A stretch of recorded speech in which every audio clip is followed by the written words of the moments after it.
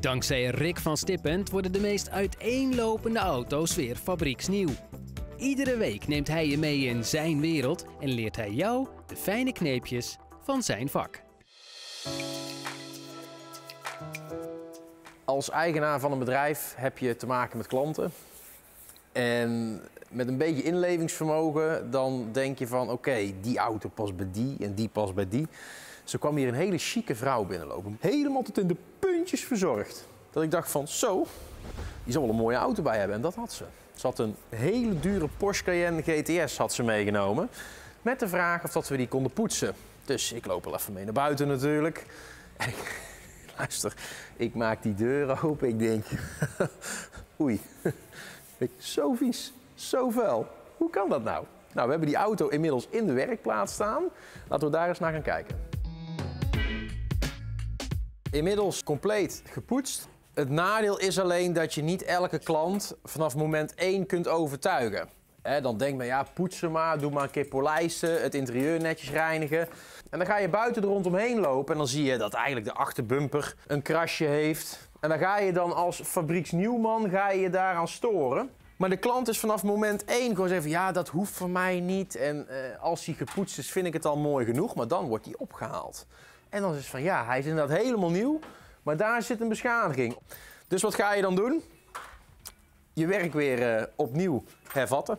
Dus de achterbumper gaat eraf, de wielen worden herspoten, er komen vier nieuwe banden op. We gaan de remmen compleet vervangen. De remklauwen die helemaal ja, toch een beetje dof zijn geworden, gaan we nu ook spuiten. Dus uiteindelijk uh, wordt hij weer zo goed als fabrieksnieuw. Kijk, en dan kan ik de stempel erop drukken. En dan heb ik toch de klant weten te overtuigen van...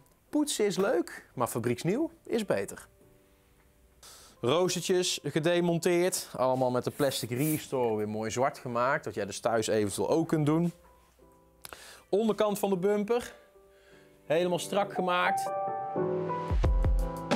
Oh, de achterbumper gaat eraf. We gaan heel even meekijken. Kijk, nou is hij los. De dit is lekker ingelakt. Nooit geen schade gehad. De originele stickers zitten nog op. Kijk dan. Ik zei toch dat het gewoon een Touareg is. Volkswagen logo, made in Hungary. En dit is dan weer made in Austria. Dit komt dan weer, uh, dus de koets. Volgens mij is dat ook echt zo. Wordt de koets gebouwd in Oostenrijk en hij wordt afgebouwd in Hongarije. Kijk eens. Oh, mooi. En dit is dan weer made in Germany. Jongen, jongen. Maar nou zie je dus ook wat fabrieksnieuw is, hè? Zo maken wij dat altijd. Die kopse kanten, die zijn verzonken en het hart ook. Ja, de achterbumper... Uh, die kan daar de spuitcabine in.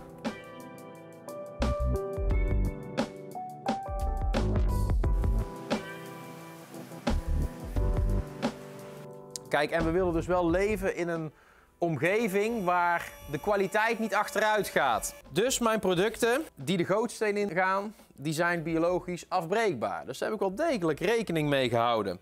Maar het effect moet wel goed zijn. Want wat je tegenwoordig wel vaak ziet, dat is of het werkt heel goed, of het is biologisch afbreekbaar en het doet eigenlijk helemaal niks. En dat moet je niet hebben.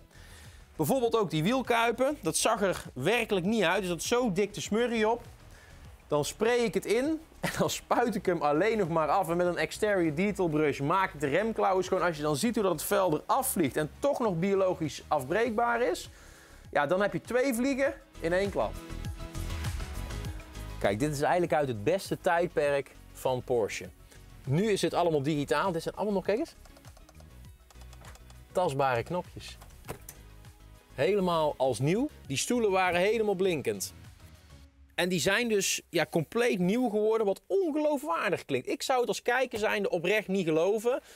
Maar als je ook ziet hoe simpel, ik spray het in, ik borstel hem, ik neem hem af Daarom noem ik het ook de Interior Mat Cleaner. Ik feun hem droog, waardoor dat het residu van het materiaal net even erin trekt en dit is het resultaat. Echt een nieuwe stoel. Kijk, wat je gewoon ziet, hè, een auto met 127.000 kilometer, dat waarvan de stoelen er letterlijk niet uitzien, dat je hem even met een mattering inspreekt, borstelt, afneemt, dat dit er onderuit komt, ja, dan praat je echt over duurzaamheid. Dan kun je wel een splitlederen stoel erin zetten, dat is dan de goedkopere versie, maar dan hadden de gaten er al in gezeten.